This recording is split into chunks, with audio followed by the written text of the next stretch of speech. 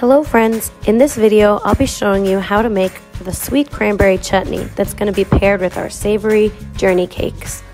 Chutney is a term used for spreads that are preserved in sugar or vinegar. Chutneys can be sweet or savory. For this recipe, we'll use a pound of dried or fresh cranberries, two pounds of frozen or fresh strawberries with the tops taken off, four cups of sugar, juice from one lemon, and a dash of salt.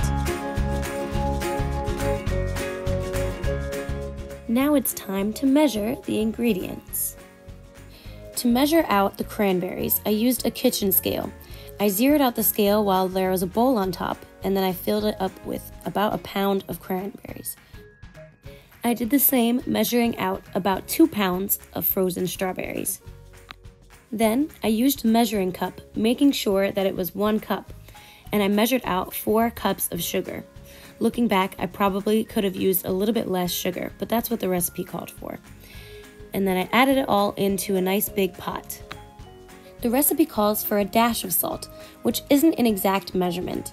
So I just sprinkled a little bit into the bottom of the measuring cup and kind of eyeballed it. I know that if I need more salt later, I can always add some. Next, I've got to add the juice of one lemon into the mixture. I didn't have a juicer, so instead I cut this lemon in half, and then I'm simply just going to use my hands to squeeze out the juice into the mixture. If you're going to use this method, I'd suggest picking all of the lemon seeds out beforehand. Otherwise, they fall into the pot and then you have to pick them out later which wasn't too big of a hassle, but just something to keep in mind. Okay, now that all of the ingredients are in the pot, it's time to cook it. So I put my stove on low and I let it sit for at least 40 minutes. It was closer to more like an hour.